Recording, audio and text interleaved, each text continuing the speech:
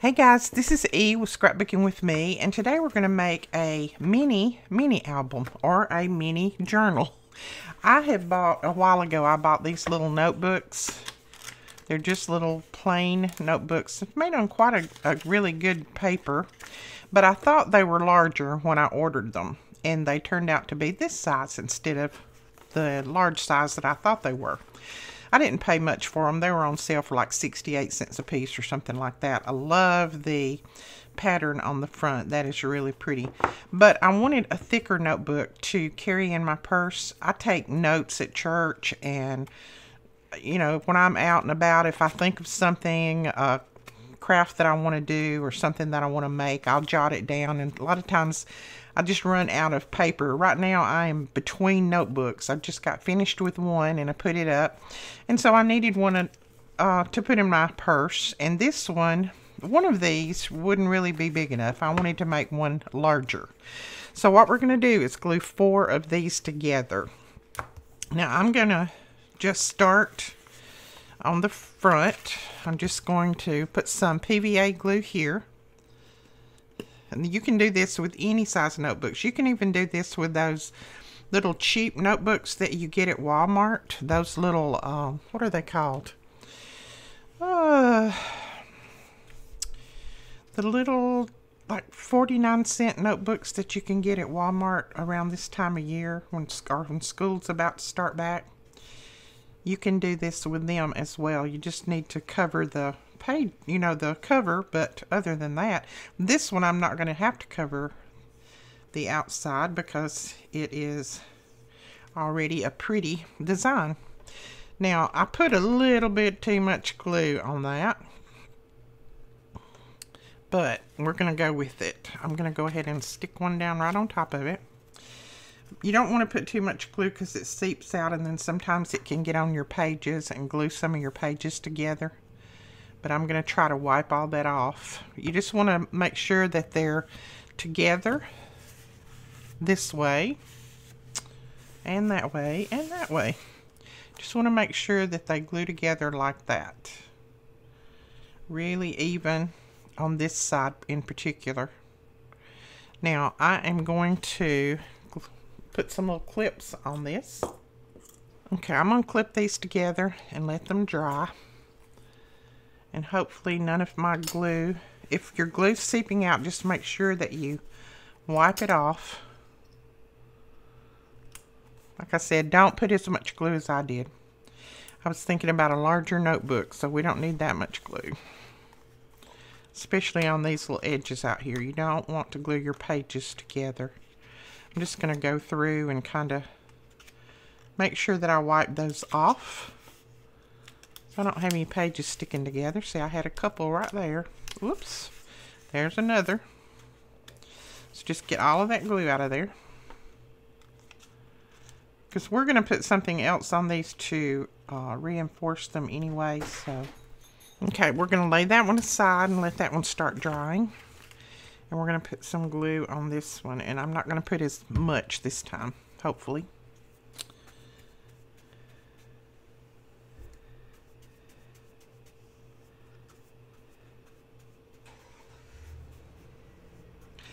So if you don't have any of these, then go, you can go, the next time you go to Walmart, just pick up some of those little composition books. That's what they're called. And you can glue quite a few of those together and just make your little albums. You can make them as thick or as thin as you want. Just going to make sure that I get these as even as possible.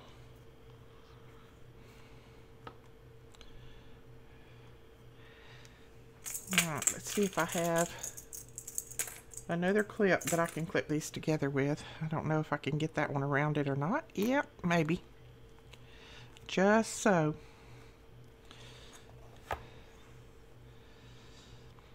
This PVA glue does take just a little while to dry, but it's very, very flexible. So once you once it dries, you're good to go.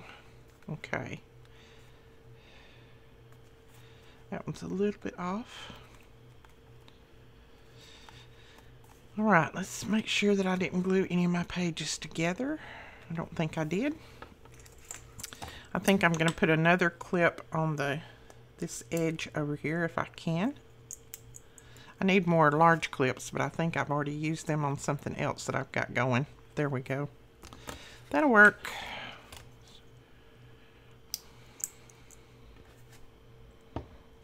Okay, now once these gets get glued, then we'll glue this one to this one and it'll have four thick. So let's lay those aside and let them dry. Okay, we're going to say that these are dry enough. I don't think they're completely dry. But, and some of my pages stuck because I put too much glue. You know, you, you have got those books before that you tried to read and the pages are stuck together. Well, that's because in their warehouse, when they was making all those books, they had somebody like me that was heavy-handed on the glue. And they put way too much glue on it. Okay, so we got all of our pages unstuck. Now what I'm going to do, and this is still a little bit wet, but what I'm going to do is I'm going to use washi tape. And I'm just going to go right down that seam. This is an old washi tape that I've had for a while, so let's hope that it holds really well. It's going to hold until all this dries anyway. Once that PVA glue dries, we're not going to have to worry about it coming apart. Okay, I have washi tape on those, and then I did go ahead and put just a stitch right there, uh, just with my sewing machine, so I'd be sure that it'd hold together. You can just put washi tape all over this if you want, or wrap something else around it. I just stuck it over there in my sewing machine and did a little stitch down through there. But that is those two. I did this one the same way. Okay. Now, I, I know why it's taken this PVA glue so long to dry. It's because these have just a little bit of a slick cover on them. So I'm taking my Tim Holtz, and I think this is Tim Holtz. Now this is a Prima, sorry. This I'm taking this Prima little file and I'm going to file off some of that uh, shine just to give it a tooth so that this that um, PVA glue will stick to it. And that works really well. You can see it takes off just enough of that tooth there. So let me get the shavings off of our table. And then this time we're going to put a little bit of glue I'm just going to basically put it in the center because since we are going to use our washi tape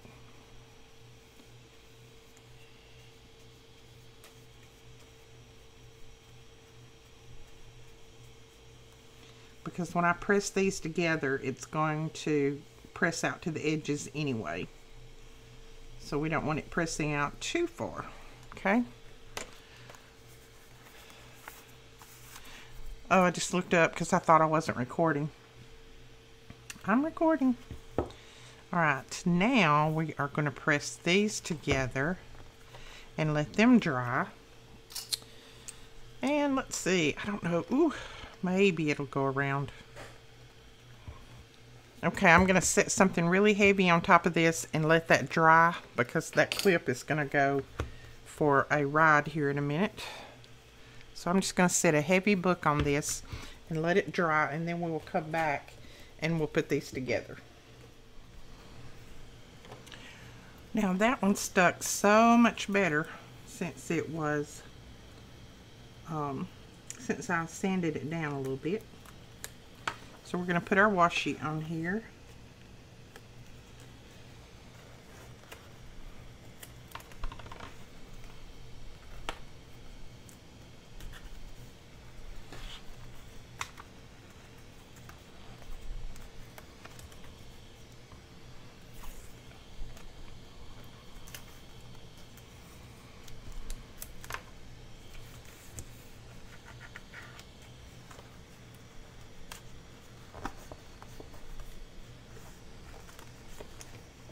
There we are. That should hold it.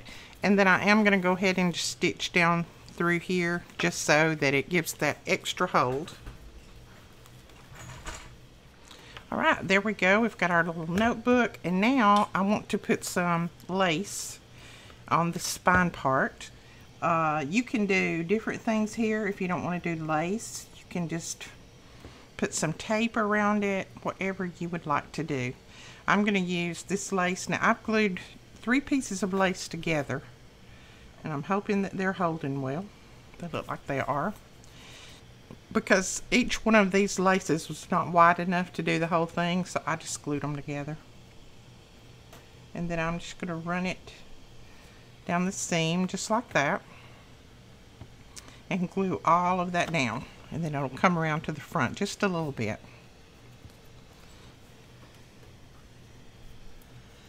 And I'm going to use my 3-in-1 for this.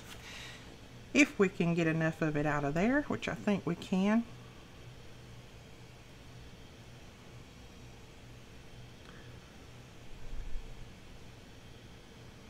There we go.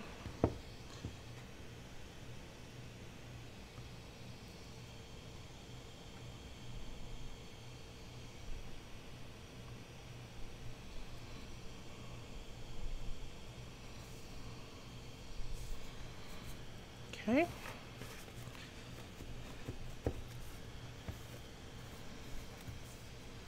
So we have that piece down that covers that spine. And then we're just going to pull this around and glue it to the front and then a piece to the back.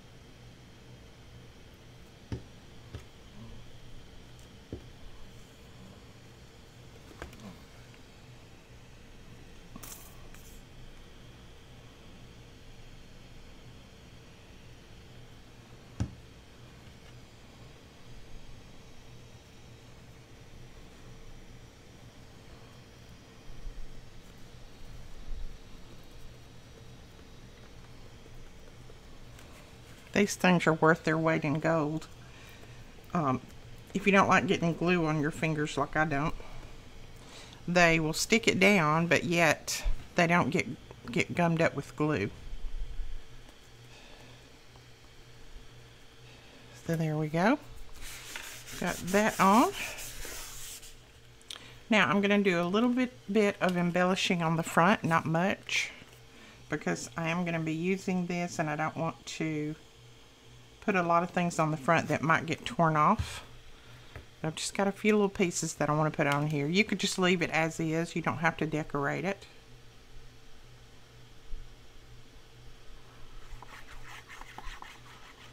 This is, oh, I think I printed these off from somewhere. I don't remember where. It was one of those sites that you can print and uh, it is copyright free. But I, I don't sell these or anything. I just printed them off for my own personal use. So then I want to tuck this under there. I should have done that first. Like that.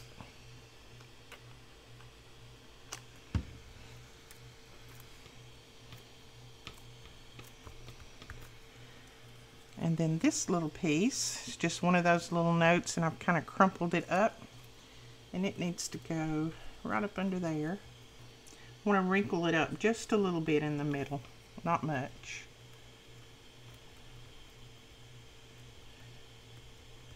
There we go. Want that.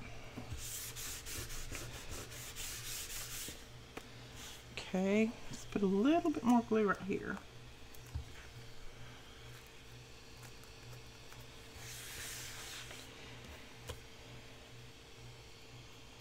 And then I was thinking about a little flower right there on the front, but I'm not sure. Let me look at that.